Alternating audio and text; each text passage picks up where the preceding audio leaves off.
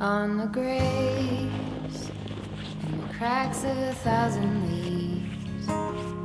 Somewhere in between our past and our future rolling over all the dividing themes. Are you still listening? Want to be heard by? Slow fall into the Indian Sea, where the cold and the hot meet, and the powers that be.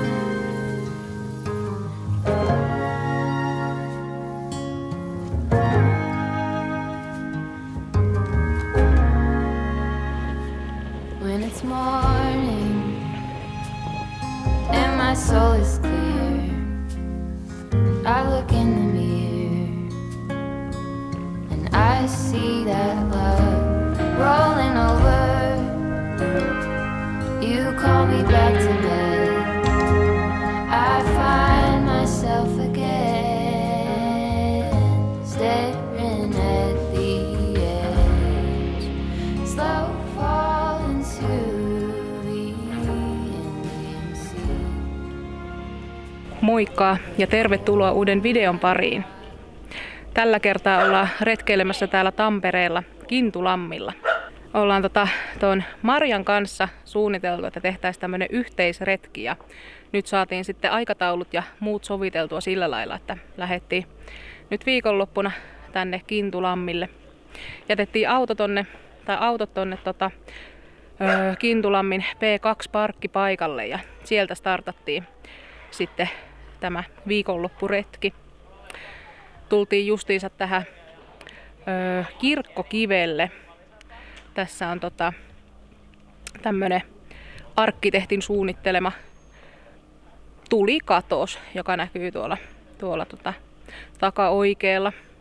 En viitti vielä, vielä tarkemmin käydä kuvailemassa, kun siinä on porukkaa tulistelemassa, mutta hienolta näytti tuommoinen läpimentävä mentävä katos. Tultiin semmoinen pari kilometriä äsken tota, polkuja pitki, oli aika hyvin käveltyjä, niin pärjäs kyllä ihan hyvin ilman lumikenkiäkin. Ja Marja tuolla kävikin hakemassa vähän polttopuita, ruvetaan tässä tosissaan lounastamaan, niin, niin, niin. hän virittelee tuossa tuota risukeitintä ja mulla on itellä tuossa ruokatermarissa sitten lounas, minkä tuolla Jyväskylässä laitoin tekeytymään. Mutta täällä on varmasti joillekin tuttu, tuttu henkilö kanssani, Marja. Moi! Täällä tota Risukeitin lounas. Noni, En mit, kyllä risuja ajatellut syö. noni, mitäs sä mennät kokkailla siinä? Mulla on ihan pussipasta. Semmonen lisää vain vesihenkinen ruoka tälle kertaa. Pussipasta toimii Kovasti aina. niitä tonne kertyy tonne kaappiin. Niin kaapin kätköistä nyt on Noni, tämä kerta. Joo, mulla on myös tällainen joululahjaksi saatu uusi nalgenepullo ja tää on joku pimeässä hohtava, että sitten jos häviää, niin löytyy pimiällä. Aa. En nyt tiedä, onko se ihan semmonen ominaisuus, mikä olisi jotenkin erityisen tarpeellinen pullossa, mutta onpahan nyt kuitenkin ihan hyviä pulloja nämä kyllä yleensä on. Onpas jännä. Noin. Jännä ominaisuus kyllä. Ei pääse pullo hukkuu. Joo, mulle joulupukki toi tämmösen retken tota, niin, ruokatermos tota, pullon. Ja multa jäi kesältä, kun kuivatteli haltin reissua varten, niin noita juttuja, ruokia, niin jäi, jäi oikeastaan kaikki hernekeitto ei tullut syötyä reissulla, niin jäi syömättä, niin mä testasin nyt sillä lailla, että ennallistin kotona jauhelihan, kuivatun jauhelihan. Ja aamulla laitoin tänne ja sitten se herne, hernekeittoseoksen tai jauheen ja sitten kuumaa vettä päälle. Täytyypä kohta maistaa, että toimiiko tää.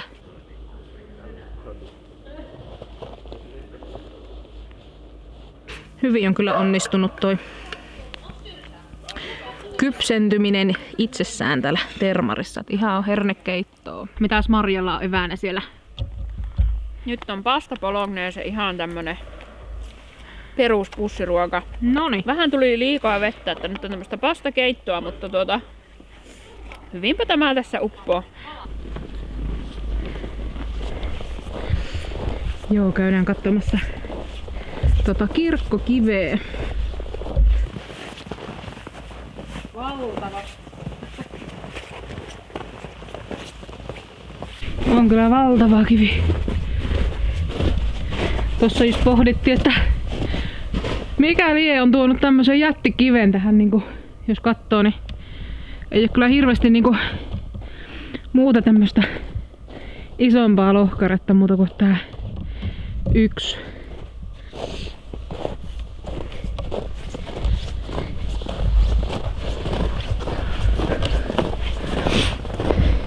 Tässä on toi Kortejärven parkkialue ja tultiin tuolta kirkkokiven suunnalta toi 300 metriä ja lähdetään tästä tonne Vattulan luonnonsuojelualueelle tästä sitten.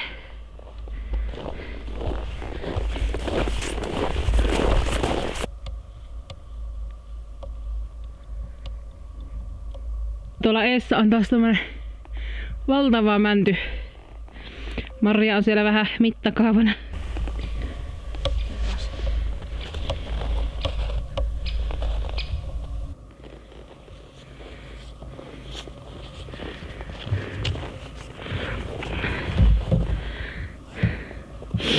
Joo, kyllä huomaa, että on tosissaan tämmöistä ei huolettua koskematonta metsää, että täällä puita siellä sun täällä kaatuneena ja sen verran on kyllä huolettu, että tuossa polulle kun oli, oli kaatunut puu, niin siitä oli niin pätkitty varmaan sahalla. Mahtuu menemään ja tässäkin justiinsa. Joo, mennään tästä tätä Vattulan mettää pitkin ja sitten olisi tarkoitus tonne Kintulamme laavulle leiriytyä.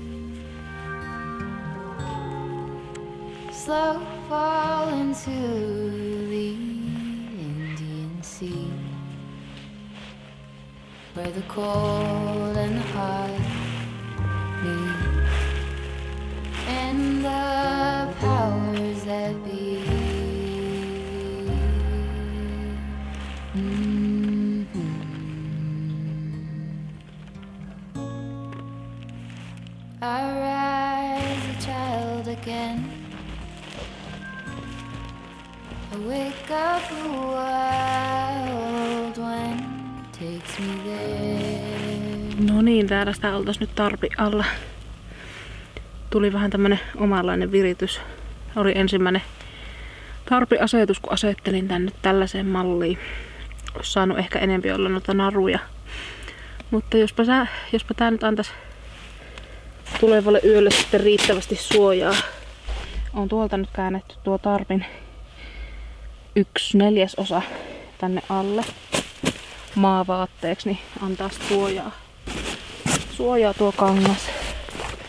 Sitten siinä on solumuovinen ja siihen sitten ilma-alusta päälle.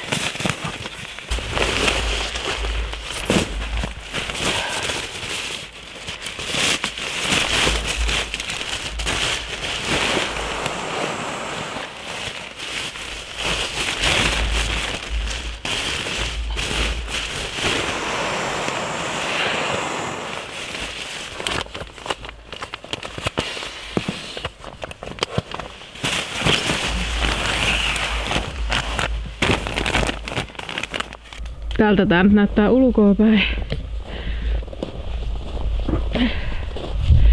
Maria kutsui tätä puolijoukkueteltaksi tai majoitteeksi. Kyllähän tää vähän semmoiselta vaikuttaa. Mahtuisi varmaan kymmenen nukkuu poikittain tonne, mutta... Mutta joo. Mitä? Mä olin näin kova Oho, kato, pöl- puupölkky hajos.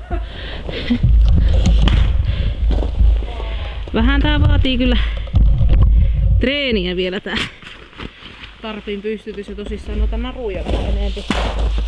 Enempi, mutta kyllä mä luotan, että tää tämän työn tästä palvelee.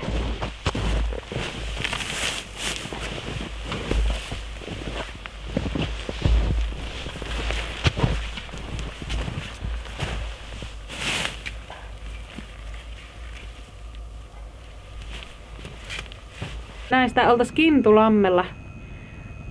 Kello on jotain viiden jälkeen vissiinkin. On se jo. On niin pimeetä. niin, varmaan lähempänä kuutta. Me tultiin tähän kolme aikaa ja, ja tota, saatiin tuohon tosissaan majoitteet. Täytyy kohta käydä itse asiassa esittämässä vielä Marjan majoite, mutta Joo. Tuossa toi oma majoite on tosissaan tommonen tarppimajoite nyt ekaa kertaa väsääsin, mutta jospa se yön tosiaan ajais, ajais silleen, että pärjää. Tässä oli aika paljon kun tultiin, niin väkeä, väkeä tässä laavulla. Tässä on tämmönen aika pieni symppis mökki vai miksi sä sitä sanoo? Niin, kyllä. Mökköröinen. Kyllä siinä varmaan kaksi-kolme henkilöä mahtuisi Mm. yöpymään ihan sillit suolassa nukkuen. Joo. Mutta tää on tosiaan niinku semmonen suosittu päiväretkipaikka, että, että tota, nytkin kun tästä pimeä kunnolla tuli, niin alkoi lähteä viimeiset päiväretkeilijät. Että, että tota, silleenhän niinku on kiva tulla yöksi, että Joo. sitten rauhoittuu illaksi. Vissiin muutama tuossa toivottelikin hyviä Joo. öitä. Vähän tuntuivat olevan nuo päiväretkeilijät sitä mieltä, että ketä on nämä hullut naiset, jotka aikoo olla täällä yötä, mutta Kyllä. näin me meinattiin. Siellä nyt tosiaan näkyy tuo meikäläisen majoite kauempaa. Tässä melko vieressä on sitten Marjan majoite. Riippumatto ja tarppi. Viritelmät.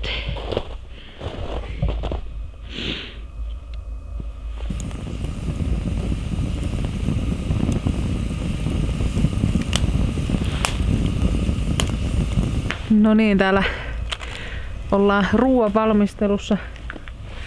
Mä lähden hakemaan itselleni vettä tai lunta vettä varten täältä Kintulamme jäältä.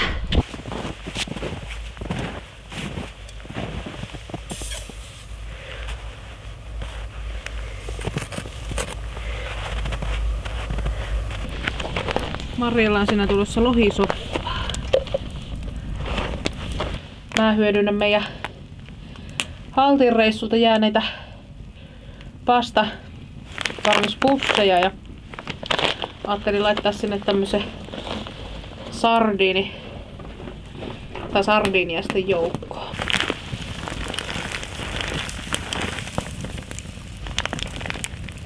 Mä oon sitä pakastepinaattia kuivannut kans. Joo. Tosi helppoa sitä, mikä on niinku semmoista muhjua valmiiksi. Niin, niin, niin tota, sitä on kuivannut joskus. ne olisi pasta hetken aikaa kiehunut, niin rupeaa olemaan kypsän näköisiä. On tääkin vähän kohmeloitunut tää. Kohmeisia sardiineja. Niin. Oh, hyviähän ne vielä irtos. Joo.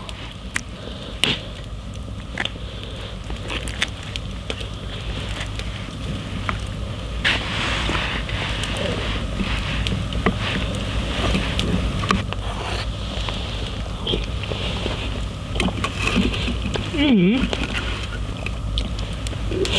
Ihan hyvä. Voisin vähän näyttää tuota reittiä, mitä tuossa päivällä kuljettiin. Eli lähdettiin tosissaan täältä P2 tultiin tästä tänne Kintulamme majalle. tästä mentiin tänne Kortejärven tilalle. Ja tästä sinne kirkkokivelle ja täällä lounastettiin. Tosta tultiin takaisin ja mentiin tästä tätä Vattulan suojelualuetta pitkin.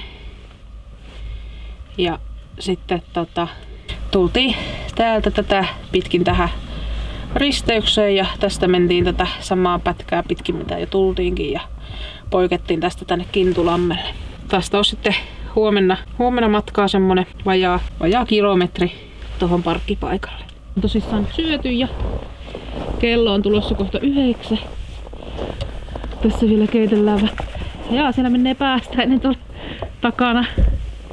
Nyt se meni sinne pikkumökkeröisen taakse. Tota, keitellään tässä lämmintä juomaa ja varmaan jotain pientä iltapalaa evästä. Nautitaan.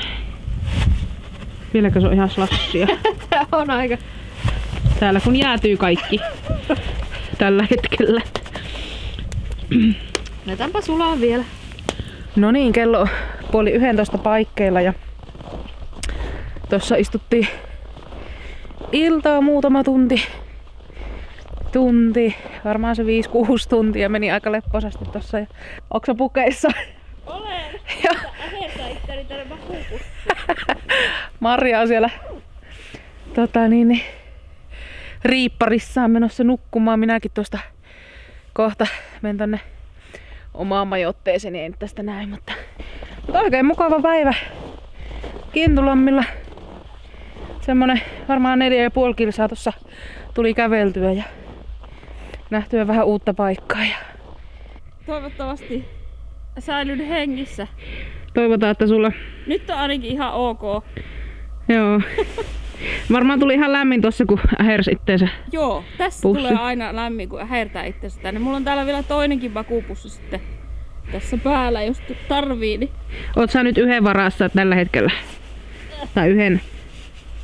Yhden makuupussin sisällä? Nytte. Joo, ja sitten se toinen on tässä vieressä. Mä en tiedä vielä mitä mä teen sille, mutta Niin saa laittaa sitten lisää. sitten on. Jees. No niin. Mä tämmönen toukka. Toukka siellä pussissa. Mutta ihan hyvältä, hyvältä pussi näyttää. Jep. Jees, ei muuta kuin öitä. Öitä.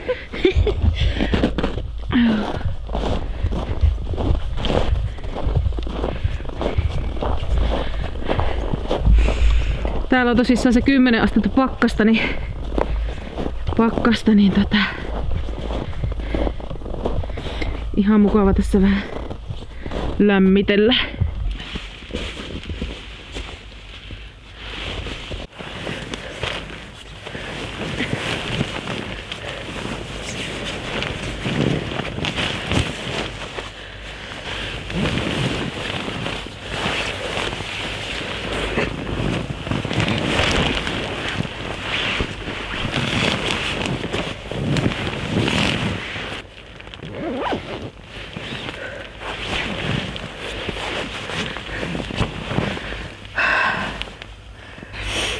Täytyy vielä laittaa kotiin vähän viestiä ja ruveta nukkumaan. Kyllä tässä lämmin tuli kun tänne itsensä ähräs taas. Mutta ei muuta kuin hyvää yötä.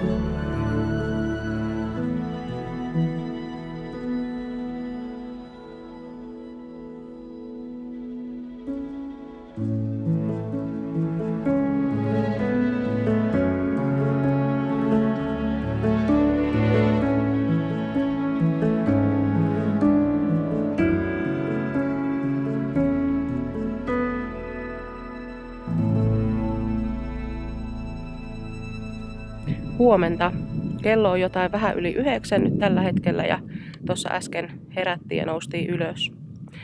Yöllä sato lunta ja se sitten valuu tota tarppia pitkin, niin ehkä sen, sen puolesta tuli sitten nukuttua silleen katkonaisesti kahden tunnin sykleissä.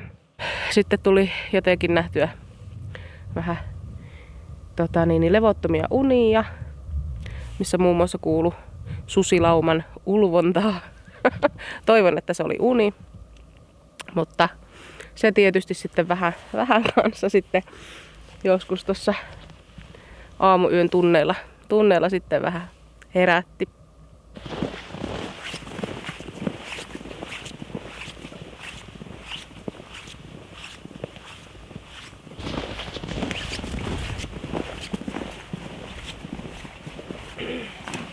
Helppo tulla valmiille tulille.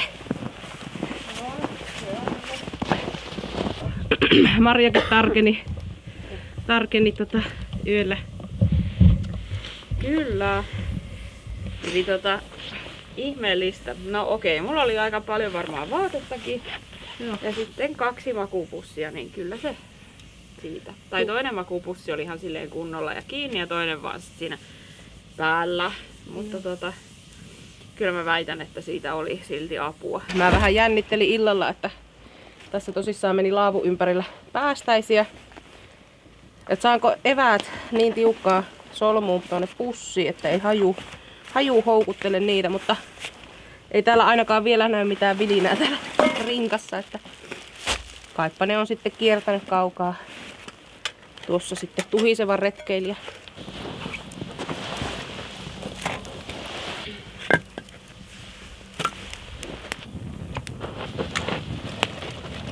Ei ole enää lämmintä vai? No Ja se on semmoista haaleita, se höyryä. Mulla oli termarissa keitin illalla teetä, varmaan siinä joskus seitsemän aikoihin. Kyllä se höyryä, se on semmoista haaleita.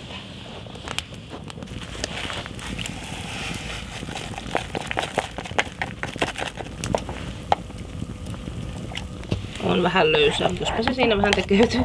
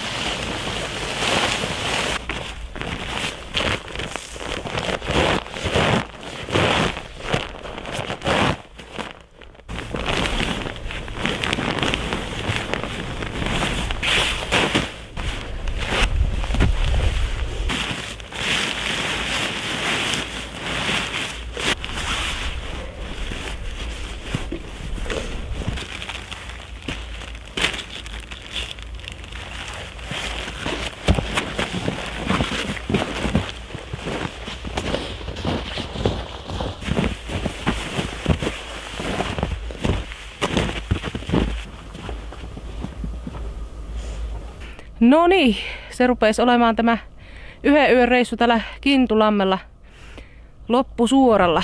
Tässä tota, syötiin ja pakattiin leirit ja katsottiin tuosta toi notski, että se siitä hiipuu ja lähdetään parkkipaikalle päin. Tutustukaahan tuohon Marjan kanavaan, eli Marja S löytyy YouTubesta ja mikäli sisältö miellyttää, niin ehdottomasti tilatkaa Marjan kanava. Kyllä. Joo. Joo. Mutta tota, Kiva reissu munkin puolesta kyllä ollut, että tosi kiva kun lähit. Joo, kiva oli tulla. tulla. Se on, tossa just pohdin, että me ei niinku tutu, niin kuin tiedetty toisiamme, mutta niin, kuin tuolta YouTubesta. Mutta jotenkin on tästä kuitenkin juttu hyvin Niin, luistanut ja tuntuu, että niin kuin, olisi tuntenut, tuntenut niin Kyllä. ennenkin tässä. Että on ollut kyllä tosi mukava, mukava reissu. Ehkä täytyy joskus lähteä uudelle Joo, reissulle joskus sitten. Mutta kiitos paljon, että katsoit videon ja painaan peukkua, jos tykkäsit videosta ja jos et ole vielä kanavaa tilannut, niin ota kanava tilaukseen. Ei muuta kuin seuraavaa videoa. Moikka! Moi moi!